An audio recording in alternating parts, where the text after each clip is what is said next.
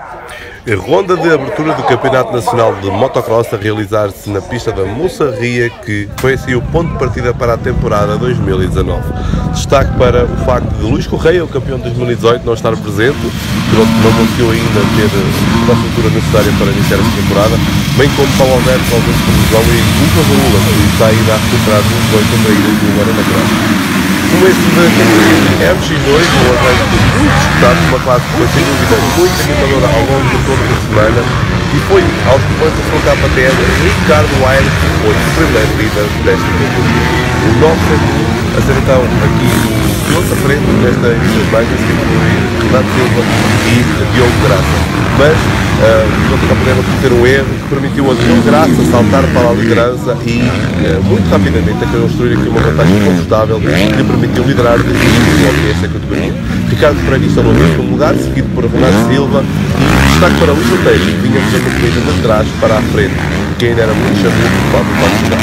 Imagens de Ricardo Freire, em segundo lugar, conseguiu mudar ainda bastante perto de Diogo Graça durante várias voltas, uma boa posição nesta primeira banda por parte do piloto da KT. Terceiro classificado, Renato Silva, aqui ainda isolado do terceiro lugar, e Luís Oteiro, que vinha já a recuperar na classificação. E o piloto acaba de fazer um ataque espetacular durante as voltas finais desta categoria.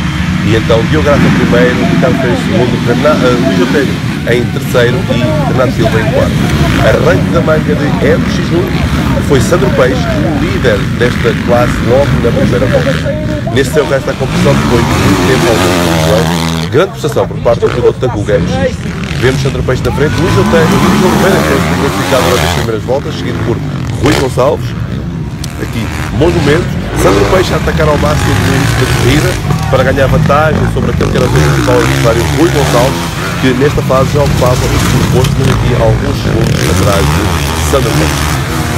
Um piloto que sem dúvida foi um bom acréscimo à competição. No terceiro lugar, uma corrida tranquila por parte do número 31, a passar do Enduro para o Motoposto Luís Oliveira aos comandos da KTM oficial Jaguar. No quarto lugar, nesta primeira banha, tínhamos Carlos Alberto, com a ausência do seu irmão, Paulo Alberto, Carlos Alberto ter uma boa posição e ser aqui quarto classificado nesta primeira banha. Ele teria terminado no lugar de pódio da categoria.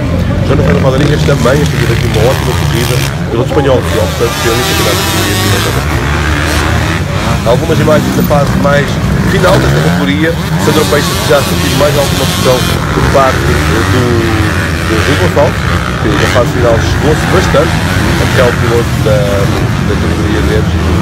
Na classe de MX2, na segunda manga foi uma corrida muito disputada, sendo que Diogo Graça liderou a corrida durante praticamente 10 voltas, mas Luís Oteiro a andar muito tempo na roda do piloto da Suzuki GMX.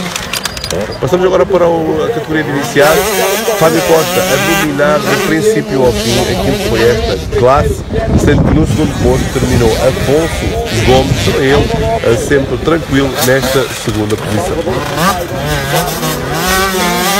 Daniel Garcia a ser o terceiro classificado nesta categoria, seguido por Igor Amorim, mas fim completaram o top 5 da classe de iniciais. Sendo que, obviamente, Fábio Costa dominou duas bandas, pela para a momento em ter uma corrida, sem dúvida, com sem contestação, ser o grande e o grande vencedor desta categoria. Passamos então para a classe Elite destaque ainda para o facto de uma corrida MX1, na segunda manhã MX1, o Gonçalves tem tido alguns problemas que o afetaram quando ele era o líder da categoria, sendo que perdeu então bastante tempo para recuperar a corrida. Vista da classe da, da final, é ali, reuniu os pilotos da MX1 e MX2 e o primeiro líder a ser Sandro Peixe, novamente, terceiro de corrida para o 373 da MX e agora com dois saltos logo atrás, seguido por Luís Oliveira, Diogo Graça no quarto posto e depois vários pilotos da categoria de MX2 a dar a outra com o Jonathan Rodrigues, que era também ele um piloto de destaque na classe de MX. Muitas boas disputas desta final reuniu os pilotos das duas classes e então aqui a fechar este dia de competição. Sandro Peixe na frente desta classe, seguido por Rui Gonçalves, ali sempre a cerca de 1, 2 segundos. Luís Oliveira que ficou isolado em terceiro posto, piloto da KPM, a rodar toda a manga, sozinho em terceiro posto então como Diogo Graça a ser o melhor da categoria MX2, aos comandos de e também ao mesmo tempo situado no quarto lugar da classificação geral. Luta pelo top 5 nesta, neste início de classe, neste início de manga, a Renato Silva durou aqui há algum tempo, um, mas depois a ser Monteiro que acabava por destacar então no bem foi líder sempre todas as voltas da classe Elite com Rui Gonçalves II e Luís Oliveira a ocupar o terceiro lugar em moto número 31 da KTM oficial boa prestação mais uma vez de Lenda deu graça foi o melhor piloto da classe MX2 mais atrás outra luta Luís Monteiro completar aqui o top 5 outro piloto da luta lugares seguintes. Destaque para Rodrigues para Renato Silva também eh, André Sérgio a fazer uma boa corrida e estava aqui a correr a bem perto de portanto voltam Câmara volta para reconstruir uma superfície no local por dar de perto de um As debates serem sem dúvida determinantes nesta fase de vida do Orçamento Civil, das debates das duas comunidades. Sandro Peixe vai fazer o seu regresso à competição com um grande risco aos comandos da Suzuki.